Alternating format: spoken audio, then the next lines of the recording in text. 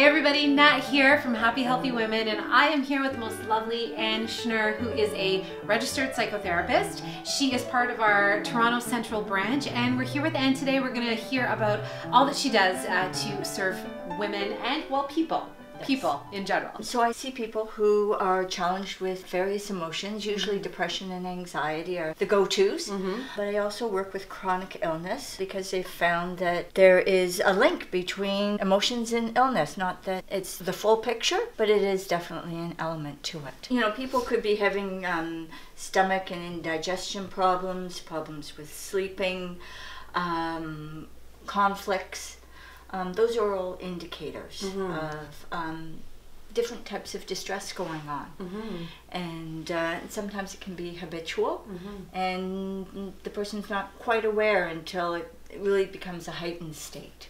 Dreams are a focal point of the work that I do. It really shows where a person is at and some of the challenges that they're having on the unconscious level that they aren't necessarily conscious of. One client I had had a dream of um, a whole new wardrobe and old shoes. And so I said to the person, I said, Well, you know, you're being clothed in, in newness and in and you can see that in the development of um, your relationships and uh, your work environment, but you're still in old shoes and so there's still a bit more work to do. Often the dreams coming into therapy are the most important ones. Mm. So when I start to see a client, I will often say, record your dreams. And talk to us about, you know, when should people decide to come and see you? Usually, if you have a sustained feeling for a prolonged period of time, so for clinical depression, you know, after a two to three week period, if you've had the same down feeling that isn't changing, you should get in to see your doctor. Uh, look to uh, a therapist, um, start to begin to address it before it becomes chronic, really chronic. I had um, a former client contact me, and they had stage four bladder cancer. Mm. And were very terrified. And I worked with them. They did um, regular um, allopathy medicine, Western medicine. They saw a herbalist, they saw me. They were able to become cancer free, which was wow. amazing.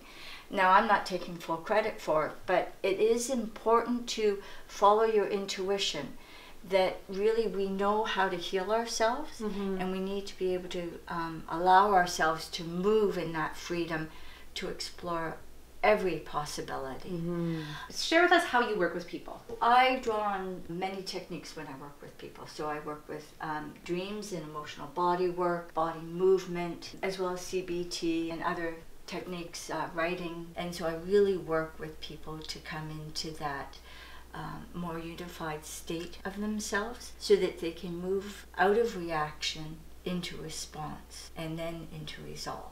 When we move into that space of groundedness, we're not emitting the fear senses and um, that people pick up and go, oh, there's something to be worried about here.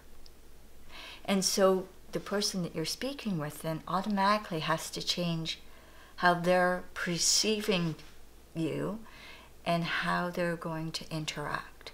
So, Ann, you've been a part of Happy Healthy Women for a while now. Mm-hmm. Yeah. Yeah. Um, so, share with us a little bit about how being a part of this community has, has helped you grow.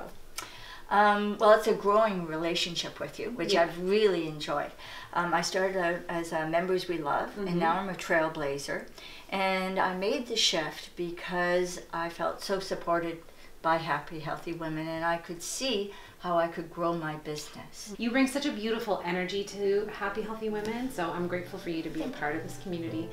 And I just know you're helping so many women. well, so many, well, people, but but women in happy. Yes. Yes.